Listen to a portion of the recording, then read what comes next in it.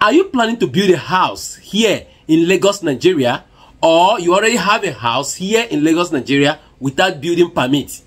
This video is for you. In this video, I'm going to be sharing with you four things, four things you need to obtain building permit here in Lagos, Nigeria. So please stick around, watch to the end, and you'll be glad you do. Remember, my name is Peter Twinnet from LekkiProperty.com. My job is to assist you with the right real estate investment information so that when you're making real estate investment decision, be able to make the right decision.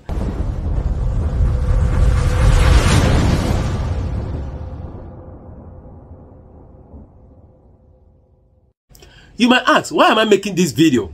Alright? Few days ago, after Lagos State government demolished some properties in Ikota, Lekki, Lagos, Nigeria, alright, they have swept into action requesting that every house owner in Lagos secure building permit. So if you have a house already built and you don't own, you don't have building permit, now is the best time for you to do that. If you're also thinking of building, now is the best time for you to secure your building permit before commencing the construction of that house. All right. So I decided to give you this first-hand information regarding what you need, four things you need to secure your building permit here in Lagos, Nigeria. So I'm going to make it brief and straight to the point. So watch to the end and you'll be glad you do. So the first thing you need to obtain your building permit is your registered survey. Like I always say, please, if you are buying property or buying a land, make sure you are giving a registered survey all right registered survey is just like this okay what you are seeing on the screen now make sure you are giving a registered survey all right you it is needed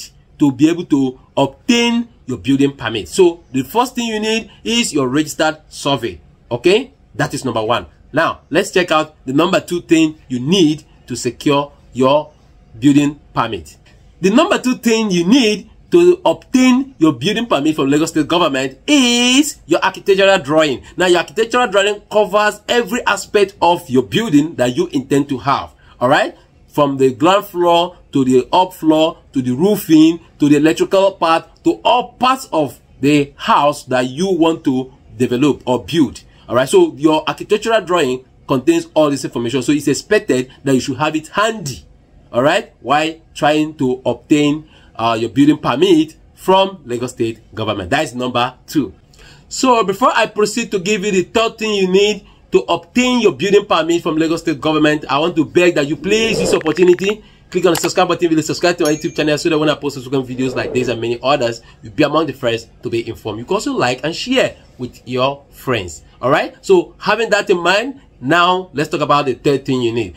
So the third thing you need to obtain that building permit from Lagos State government is a letter of introduction and a profile of your engineer. So that engineer that is going to build this structure for you and your site, you need his introduction letter and his profile. Now, the reason why this is important is because a lot of time we've been hearing of houses collapsing here in Lagos. It's as a result of quack engineers. So the government want to know which engineer is building this structure. All right. So it is always advisable you get a registered engineer.